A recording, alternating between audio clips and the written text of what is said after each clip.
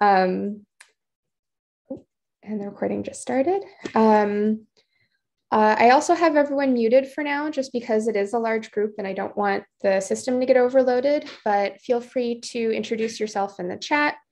Um, we will also be having about half an hour of Q&A after both of our speakers are finished. So if anything comes up for you, feel free to put it into the chat during the Q&A. And we have a couple of moderators who will try and aggregate your questions and comments together so we can kind of feed them back to the speakers. And um, without further ado, uh, let me introduce our two guest speakers today.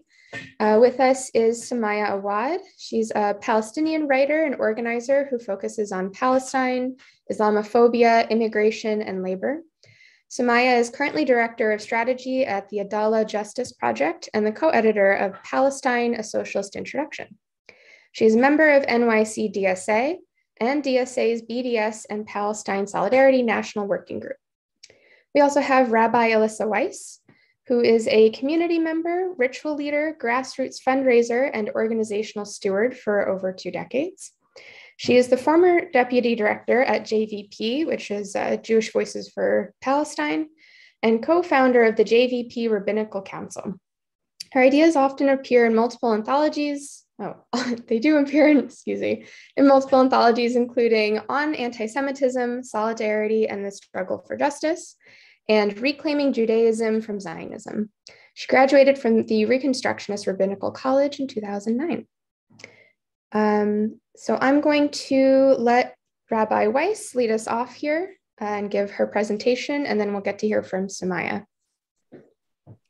Hey, everybody. Happy Sunday. I'm so happy to be here with you all. Thank you to Philly DSA for inviting me and for organizing this event. Um, I saw some of you, I don't know if any of you here on the call, but I did run into Philly DSA people yesterday at the Peoplehood Parade in West Philly, which was super fun and was really, and which also had a very strong Palestine contingent, which was also super fun. So um, fun to see you in the streets yesterday and the virtual sphere today.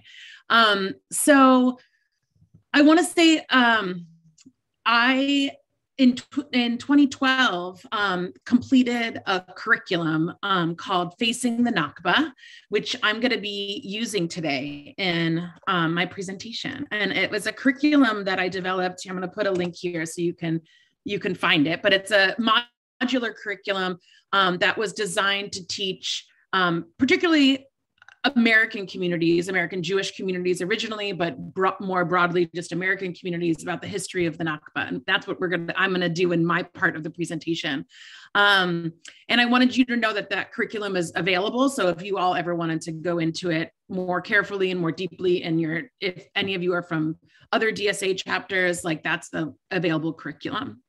Um, and that curriculum was actually based off of an original curriculum from a group, actually a Jewish Israeli group um, in based in Tel Aviv called Zochrot, which works to bring the history of the Nakba into Israeli society. So that is, um, I wanted to just give honor to, to the Facing the Nakba crew that I developed this curriculum with and the Zochrot team in Tel Aviv. Um, so one of the reasons why I'm really glad you all are having this event and that it's really important that we start with talking about the history of the Nakba. And if you don't know what that means, I'm going to get to it in a minute. Um, is that because a lot of the conversation in the US, I think, revolves a lot around um, the 1967, right? Um, and um, the occupation of the West Bank, Gaza, and East Jerusalem that took place then. But the truth is, is that there's a bigger that's not the right place to start right there's a longer history um, that did like the the israeli state was founded in 1948 and the story actually starts before that of course um, and one of the reasons why i think a lot of the conversation actually revolves around 1967 and doesn't kind of take it to the beginning is because i think for a lot of especially in more liberal circles there is a desire to focus on this 1967 occupation because of an allegiance to having a Zionist Jewish state. Because the when you start talking about 1948, you get to a greater moral obligation, which is return. Um, so the UN Resolution 194, which was passed by in a big majority in December 1948, gave Palestinian refugees the right to return to their homes if they wish to do so. And that right has never been materialized. Um, and instead, it's been subsumed in complex diplomatic language regarding final negotiations, negotiations that have not happened for now over 70 years. Um, and so to me, it's actually like really critical that our movements, you know, keep pushing Nakba, right? So I said I started this facing the Nakba curriculum in 2012, right? And here we are in 2021, and it's like the first time that I'm bringing this curriculum to a lot of kind of of the more vanguard, progressive, radical political spaces. So I'm really glad we're doing it, and there's a lot to talk about. So I also want to say, as the caveat before getting into it, is that I, at, while I think it's really critical that we engage in this history lesson as part of our um, as of you all building out your campaigning as part of the Palestinian call for boycott, divestment, and sanctions, I think or, organizing will be more savvy and more strategic, knowing this history. I also just want to say that I really believe that you don't need to know the details or the ins and outs of any of this history to know when you see injustice, right? And I know that there's a lot, um, Israel's defenders and Israel itself tries to maintain that it's illegitimate for people who aren't Palestinian or aren't Jewish to have a position on this question.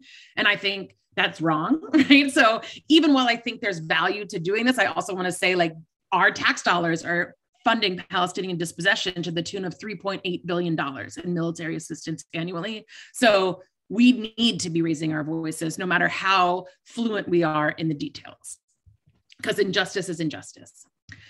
Okay, so now let's get to the history. So the first piece I want to ask is, and this is actually something I'm genuinely curious in because this is like a multi-generational space i think to some extent that we're in right now um, and multicultural space people from different backgrounds so there's a core myth that at least i i was raised in a very traditional jewish community um, and i got this i was taught this myth of and i want you to t- by a show of hands or like in the chat how many of you heard this or have heard this myth before which is a land without a people for a people without a land had people did anybody hear that growing up? Some people have heard it a little. Yes. Okay. So there's this core myth of like a land without a people, without a people without a land, which is part of what Zionists tried, um, like a mantra that Zionists tried to inculcate people with in order to justify um, expulsion of Palestinians. And one thing I actually want to note, which I only recently learned, is that I always heard it and thought of it as like a Jewish Zionist battle cry but it actually comes from Christian Zionist literature. And I actually think this is really important because I think in general, Christian Zionism gets a pass in, um, in um, being held accountable, particularly in this country, for some of the most gruesome policies of support for Palestinian dispossession. And a lot of times it's like, oh, Jewish Zionists control the Israel lobby. And actually that's, oh, the Trump year showed us how untrue, like the, how untrue that really is. Not that that Jewish Zionists don't hold huge amounts of responsibility, but it's also really important that Christian Zionists, particularly white Christian Zionist communities that hold a broader set of right wing politics, be held accountable. So it's actually really important to me to have excavated that truth that, like, the land without a people myth was a Christian myth. And it was like a thing that Christians told themselves to justify their support um, for um, a Jewish state, right? And so Balfour, this past week, we commemorated or whatever, I don't know what the right word is, like um, since 1917, the Balfour Declaration, which Balfour was a lord in the parliament in the UK, and he himself was a Christian Zionist. He was motivated by a desire to have Jews settle in that land so that the second coming would be hastened, right? So I needed to do that little caveat because once I learned that, I was like, it's my role to make sure that everybody knows that that's not where it comes from. So, part of it, and you know, obviously, is that part of this mantra of a land without a people is like this justification of disposition and this idea that you know Palestinians are not a real people or an identity or a cultural unit, and we hear those those tropes are still like you can hear them now from um, all too many members of Congress, right? And um, so it's really important that we challenge that. So I want to offer you this is one of the pieces from um, the Facing the Nakba curriculum, this precious things from the archive. So this is from, this is a short video. This is from 1896. So 1896 is actually just a year before the first World Zionist Congress, where the Jewish Zionist lobby kind of started to make its political case for settlement in Palestine. 15 years later, the cinema is taking its first steps. Cameramen employed by the Lumiere brothers filming at Jerusalem station provide the first moving pictures taken in Palestine. From now on, the camera is the recording eye, and what it records is this. A society much like that of Cairo, Damascus, or Beirut, in an Arab city, much like any other.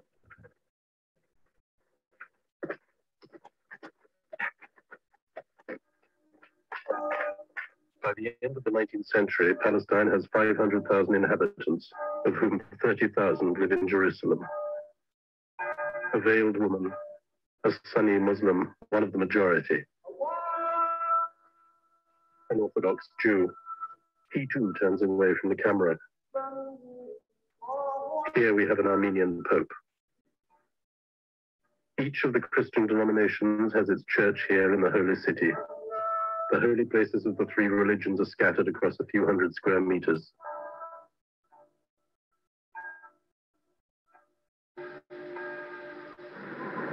The Great Mosque is close to Christ's tomb. Further along at the foot of the Wailing Wall, a Jew is reciting a prayer. He is wearing a Turkish tabush, and though he prays in Hebrew, his everyday language is Arabic. Jews form half the population of Jerusalem, but in the country as a whole, they make up less than 5% of the total. Christians account for 10% and Muslims 85%.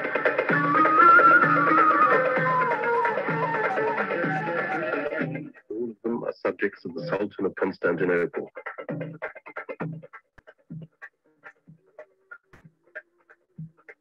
There are no frontiers in the Ottoman Empire, there are administrative divisions in which, in this immense territory, Palestine occupies a mere 27,000 square kilometers, made up of three small districts in the south of the province of Damascus.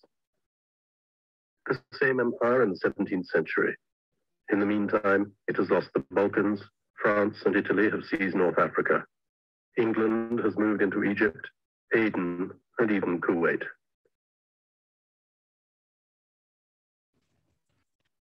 So that doesn't look like a land without a people to me.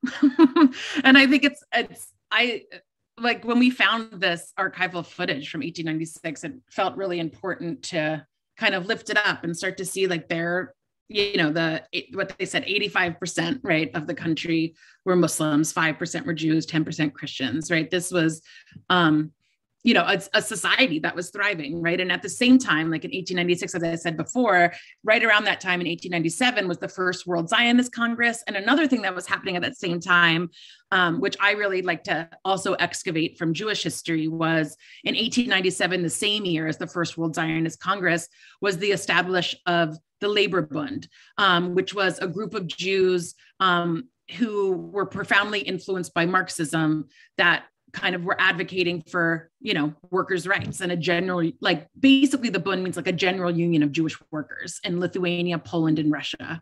Um, and that was at the same time. So at this time where like jews were trying to figure out what to do and how to how to kind of relate to the powers that be that were so anti-jewish there zionism was one stream and there were other kind of ideas about what to do. But as we know what happened um, in history Okay, so now I'm going to take us through just a little bit more detail on, um, on the Nakba. So, um, sorry, here we go. So what is the Nakba? Um, so the Nakba is an Arabic word meaning great disaster or catastrophe, and it refers to the destruction of most Palestinian localities that existed in the area um, that became the state of Israel and the expulsion of most of their Palestinian residents from November 1947 to July 1949. And as we'll talk about later, it's really important to say like the Nakba, the Nakba, I believe, is ongoing, right? But there was this like kind of time period from 1947 to 1949 that's referred to as like the original starting point of the Nakba. So you'll see like um, in these um, photos here on the screen, you could see in the top right um, that this was uh, settlement of um, a Orthodox um, settlement in a in a place called Yavne. Um, you can see that on the map on the left side. Um, the word Yavne, like it's interesting to me because I actually went to a Jewish day school growing up that was called Yavne um, in honor of this place. And like I, one of my own stories is that I was raised like a very right wing Zionist. Um, and I personally evolved around this and learning this history and excavating this has been a really important part of my own personal political journey. Um, but just being able to see here how, um, you know, this this Yavna foundation, the intention of the founders was to make the area near like this ancient town of Yavna that appears in um, the Talmud and in some of the ancient books um, of Jewish history.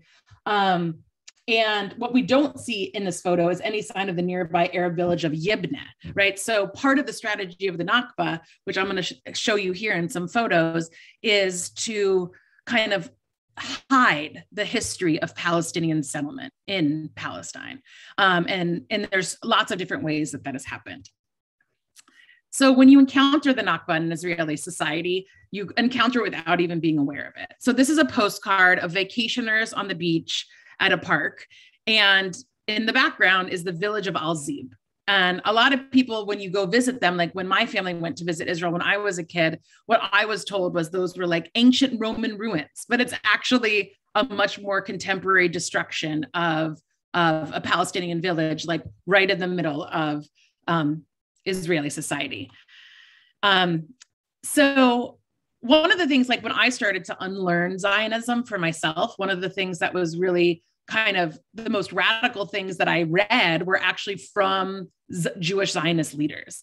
Um, for example, the Minister of Defense, um, or the first Minister of Defense, Moshe Dayan, right? So he writes, he said Jewish localities were established in place of Arab villages. You don't even know the names of those Arab villages, and I don't blame you because those geography texts no longer exist and the books are gone the Arab villages are also gone, right? And this bragging of replacing, like, kind of like taking the names and Hebraicizing them a little bit and literally putting them right on top of the other.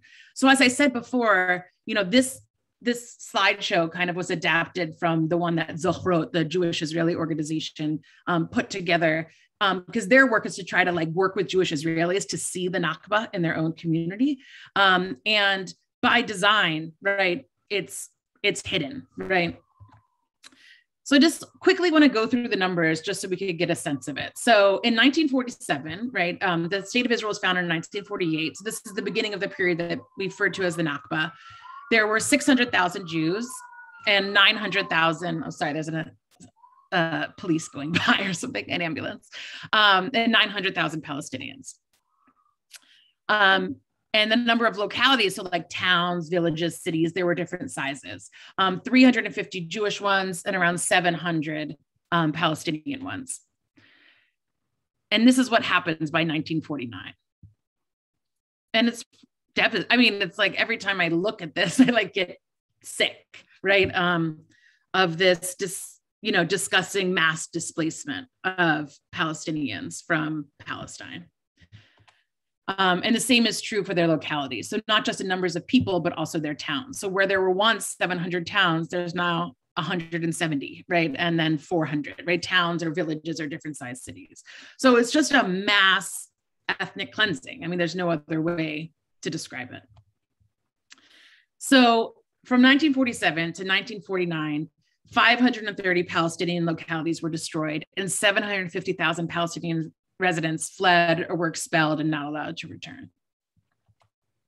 Oh, one thing I want to mention actually in this, and one of the things here, like the reason we use this photo is that one of the things um, that you learn to do when you're trying to like excavate the Nakba is like you can see that um, these stone walls were part of the way that Palestinian farmers and agriculture were actually um, kind of had worked the land, right? And now you see that it's overgrown. But in some places, when you tour the country, it's like those are some of the clues that let you know where you are.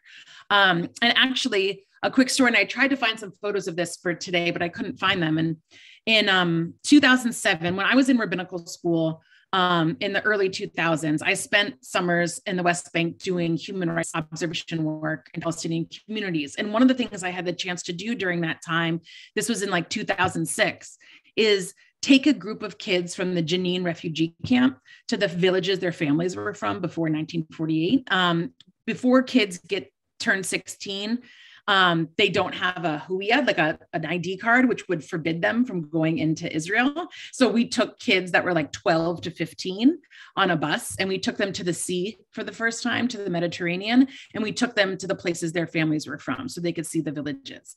And I remember one of these set of brothers um, called their grandfather on the phone and like by the position of the sun as well as some of the rocks that were left, the grandfather was able to direct them directly to where his house used to be in this village, and then told them to look around for a tree where they had carved their names before they fled. Um, and they found it. And it was like, on, you know, I just, even just like remembering it briefly, it like overwhelms me, right? And there is this tether that's still so alive um, in Palestinian society across generations um, to return. And so I personally feel it's really important that we as activists and organizers do all we can to ensure that that happens in the lifetime of people like that grandfather who still could make that trip and return to his ancestral village.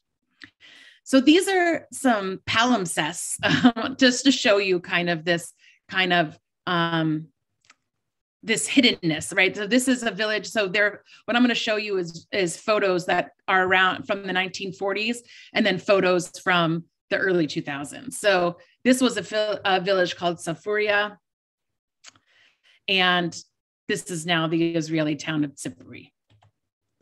This was um, the Palestinian village, uh, city of Al Musrara, and this is now the Jewish Israeli town of Marasha. This was Ein Kerem.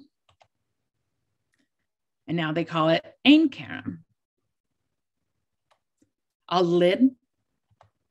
And now they call it Lod. And you can see the the Hebrew right on the um on the buildings right and and next to the to the to the mosque right um and in one of those one of the other villages i took those young those kids to on that trip um we went to a town, it wasn't this one, it was a different one, but the mosque had been turned into like an art gallery, right? And this kind of like just like crass desecration, you know, of um, Palestinian religious and spiritual culture.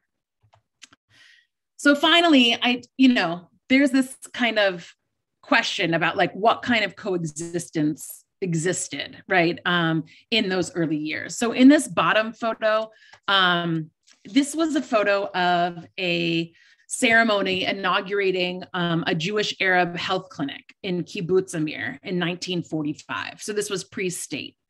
Um, but you'll see, uh, and you can see that on the top of the building, uh, there's a there's a banner, and it actually reads in Hebrew a quote from Jeremiah, which says, "Behold, I will bring it healing and cure, and I will cure them, and I will reveal to them a greeting of peace and truth." So the photograph describes the realities of living together at this point, right? On the one hand, they're erecting a Jewish Arab clinic to serve all the inhabitants of the area.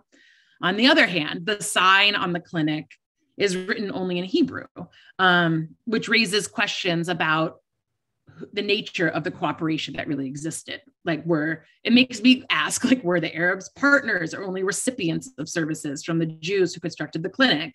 And what was their kind of idea about coexistence? And then the upper photograph um, is a photo of Palestinian farmers and their Jewish neighbors in the Hula Valley in 1946. This is also pre state. And though neighborly relations and cooperation developed in many places in the country, the growing strength of um, the two national movements, and particularly Zionism, meant competition, right, um, for resources, which led to tensions and suspicion and violence. Um, you know, there was, but there was evidence of cooperation, right? And um, in the establishment, of a number of joint political organizations, professional associations, mixed workplaces, and commercial ties. But what happened was like as part of the Zionist project, Jewish land purchases led to the expropriation of Palestinian tenants and extended the policy of Jewish labor, right? So they only would hire Jewish laborers. Um, and this original, it was called the Histadrut, the original the Jewish labor union. And so it was really actually around labor that um, the Zionist project was actually was like kind of met with kind of land grab and control, right? And so um, you know, these are these complicated history. I just want to lift it up because I think like part of it is when we want to when we organize what we're organizing for and what we envision. Um, um, you know, for me personally, is around you know obviously first and foremost freedom for Palestinians um, and an imagination that there's another way to be and live together. So, just to end, this is actually from this past week. Um, I don't know if everyone's been following um, the kind of ongoing Nakba, right? And of in the struggle around Sheikh Jarrah. And, um, you know, this is a statement that was released by the residents of Sheikh Jarrah this week. And you'll see in the final sentence, it says, It is time for our Nakba to end. Um, so, rather than thinking of this as just a history lesson, is also to remember that the Nakba is ongoing. And any of our organizing for boycott, divestment, and sanctions um, in solidarity with Palestinians needs to include kind of that analysis and that right that until return, until freedom, until justice, we're not done. Thank you. Thank you so much, Rabbi Wise. I'm going to go ahead and hand it off to Sumaya next. I also want to remind everyone who's just joining that we have a, a sign-in sheet that Sanwell just reshared in the chat. So make sure to fill that out so we can keep track of who's attending these and who's uh, coming to our events. So uh, Sumaya, go right ahead. Thank you. Um, thanks so much, Alissa, for that foundation and to Philly DSA for organizing this and everyone for being here. I'm going to be a little bit slow because I think I think I'm coming down with a cold. I'm hoping not, knock on wood. But so be patient with me the next 20 minutes. Um, I'm actually going to start around where Alissa just left off um, and talk about something that happened very, very recently in the last couple of weeks, which is Israel's decision to label six Palestinian civil society human rights orgs um, as terrorist organizations.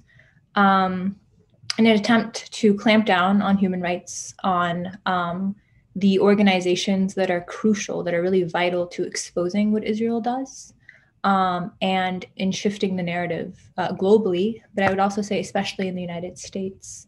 And of course, this is just the latest example of you know repression and these uh, tactics of um, fragmenting Palestinian civil society, um, and silencing uh, critics of apartheid and settler colonialism.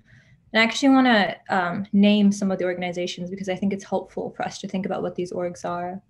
So I'm going to name a few Defense for Children International Palestine, which works to expose human rights violations committed by Israel against Palestinian children um, when they're detained um, in the street, in their homes, etc. Um, Al Haq, which is a human rights org that's leading the accountability process. Um, basically, the process to hold Israel accountable for its war crimes in the International Criminal Court. So, of course, Israel wants to label them a terrorist organization, right? Because they're the ones trying to hold Israel accountable for its many, many violations of international law. Um, another is the Union of Palestinian Women's Committees and the Union of Agricultural Work Committees, um, which focus on um, women and labor um, and farmers and the rights of Palestinian farmers and their land. Um, and the last one I'll name is Addameer, which is a Palestinian-run organization that uh, tracks data on Palestinians imprisoned by Israel, um, including Palestinian children. So these six were labeled terrorist organizations. Um, actually, just today, this morning in Palestine, Israel released um, under military orders, basically released military orders against the six, meaning that Israeli soldiers can now enter the occupied West Bank um, and Gaza um, to detain and close down the offices of these organizations. Um, so that's sort of like the latest thing to happen with that. Now, I, I mention all of this because it goes straight to what Alissa was talking about about the Nakba, that it's ongoing, that it hasn't stopped right? That the repression, the violence against Palestinians um, has not stopped for 70 plus years. And so oftentimes the way people talk about Palestine um, in Israel is by saying that this is just something that happened in the past. There were disagreements in the past.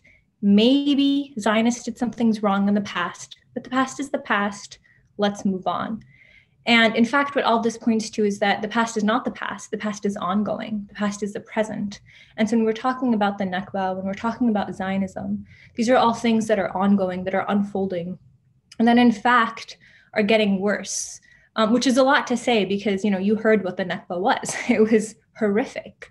Um, and and the one other thing I'm going to sort of repeat that that Alissa spoke about, but just because I think it's really important to underscore, is how Zionism as, an, as a political ideology is what Israel uses um, as, as ideological cover for its ongoing colonization of Palestine.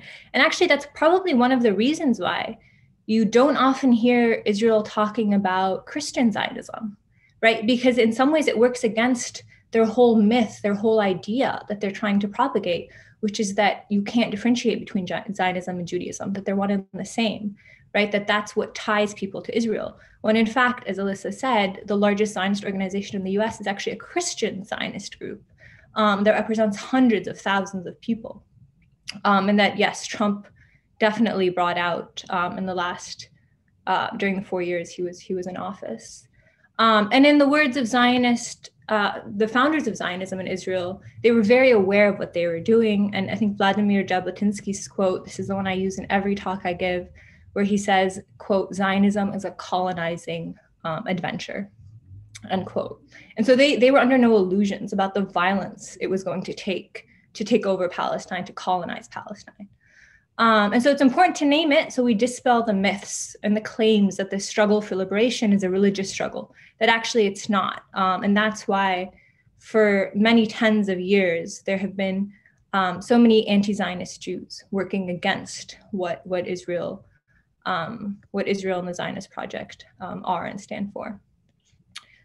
So, now that I've said that, um, I want to move to a little bit of what happened this summer um, and talk about this um, this ongoing attempt to Judaize, Judaize, Judaize, Judaization of the land, of Palestinian land, and specifically of Jerusalem, and the place of Jerusalem in all of this, and why it's come up again and again. And, and we've seen this with Sheikh Jarrah over the summer, and, and now, as, as Alissa mentioned with the letter, with a statement from the families in Sheikh Jarrah.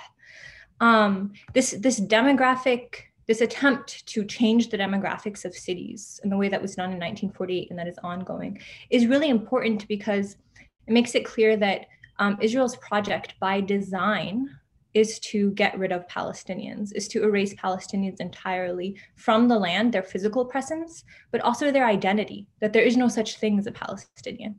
Um, that's actually part of the entire uh, project of, set, of settler colonialism um, and of ethnically cleansing the indigenous population. In this case, it's Palestine, uh, it's Palestinians, but there are many other cases in history where we've seen where we've seen this happen, and that's important to name because um, it shows that the repression, the clampdown, the really violent attempts to shut down, to isolate, to alienate anyone that dare stand up with Palestine is sort of rooted in that attempt to erase Palestinian identity.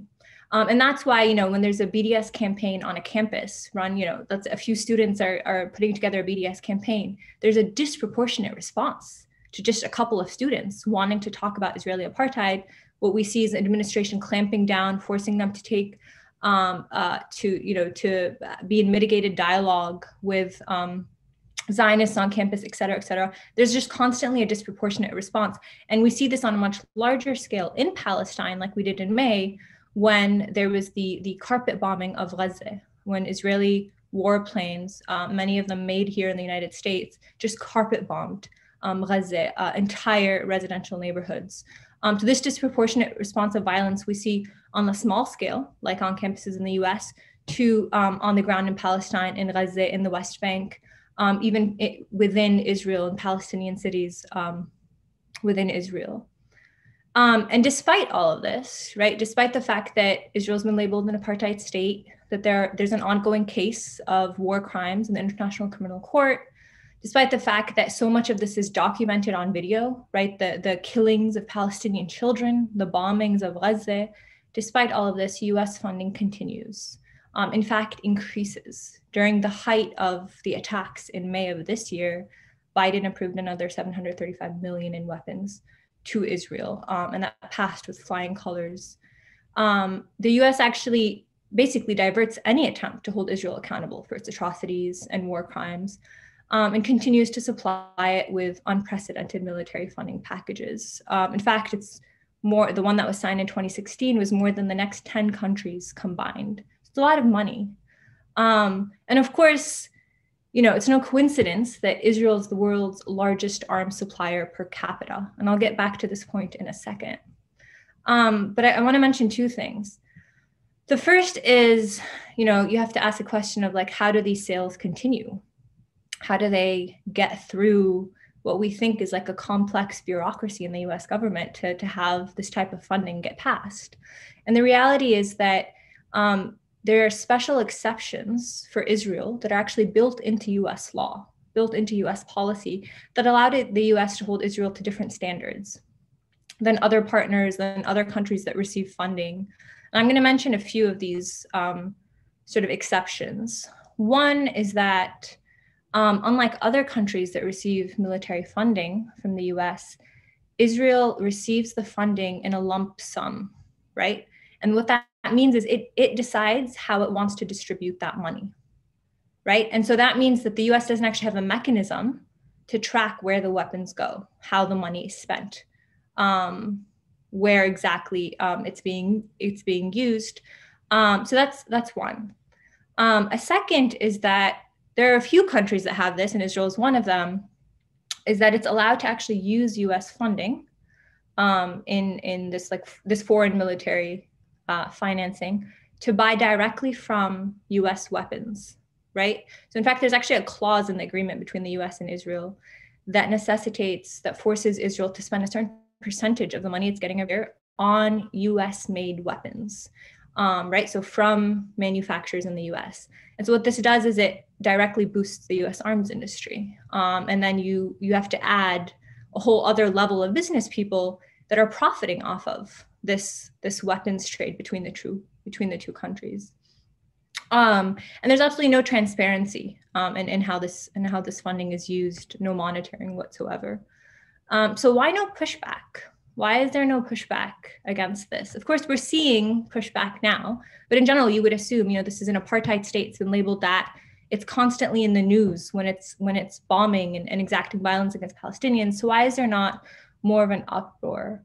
Um, and I think the, the first thing to say about that is we need to dispel any notion that the reason there's no uproar is because you know U.S. support for Israel is about fighting anti-Semitism. That that's actually far from the truth.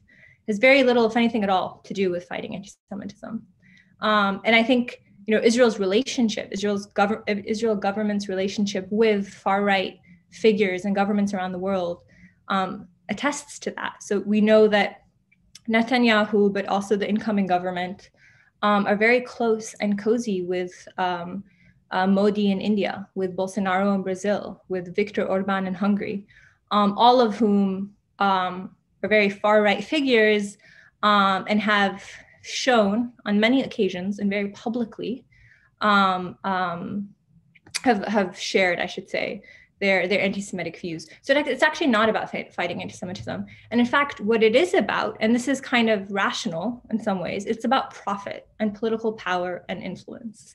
I'm going to go a little bit into how and why. Um, the the there there are many many companies, um, U.S. Uh, U.S. based companies and businessmen, and certainly many of those that are in government that actually are profiting off of the U.S. is continuing uh, relationship with Israel and support for Israel. Um, and to explain this, I actually want to take us to 2010. Um, there, first, I should say this is just one example, and there are many, but I want to take us to this one example because I think it's important. In 2009, 2010, there was this economic plan that was introduced to, to the Palestinian Authority in the West Bank. And it was dubbed the Palestinian Reform and Development Plan. Um, and it was produced uh, with help from the IMF and the World Bank, representatives from the US government, from the UK and France, and of course from Israel. Um, and the idea behind it was under the guise of, you know, bringing Palestine to the modern world and helping develop its economy, um, that um, it, that was that was how it was sold. And what ended up happening was it actually um, introduced major privatization schemes into the West Bank and elsewhere in the Middle East as well. Um, and it put a lot of power and control with the Palestinian Authority, um, with backing from different Gulf countries.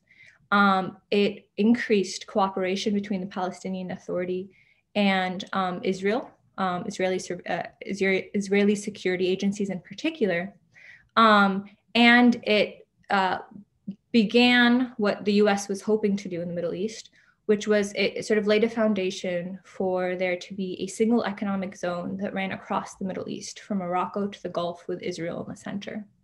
And this had reverberating effects across the Middle East. Um, and it came with many other sort of clauses that took place in different places. So there's privatization, um, a lot of subsidies that had existed before uh, for food, for electricity, for water were done away with.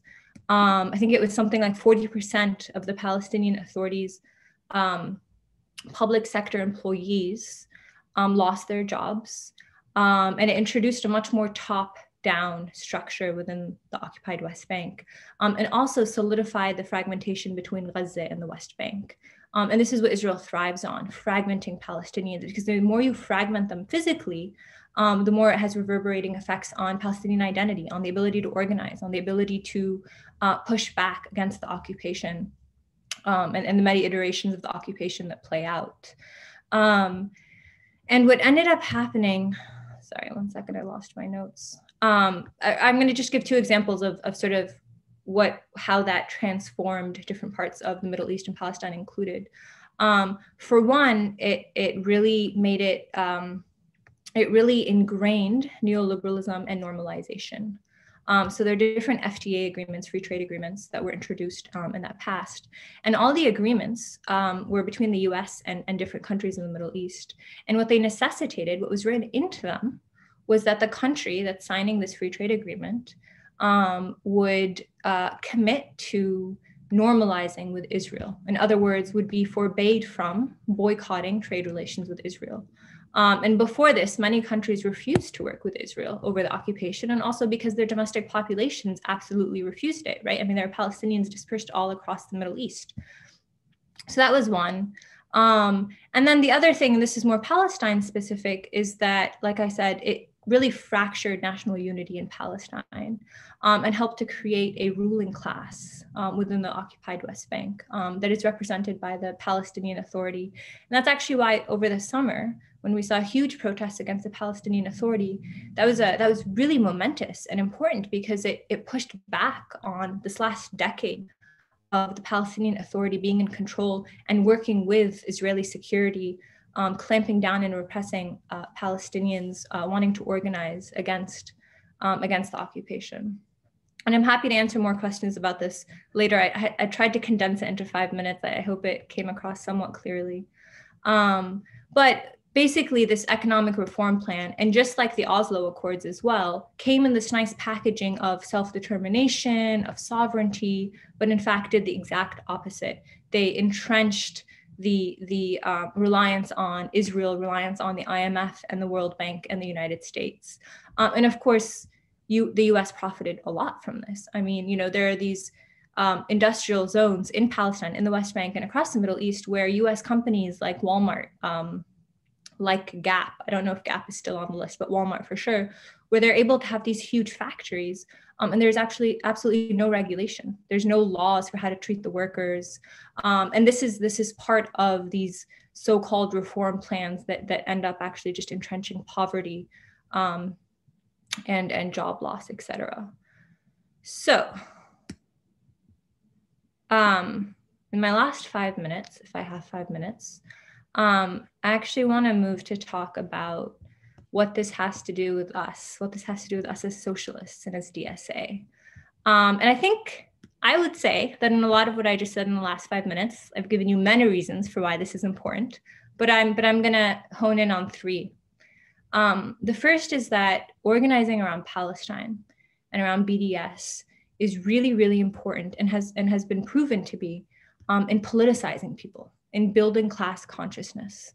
And, and workers in the US and oppressed people in the US um, understanding and seeing the connections and the parallels between the struggles we go through here in the US and the struggles of workers beyond our borders. And Palestine is a really good and important example of that for many reasons.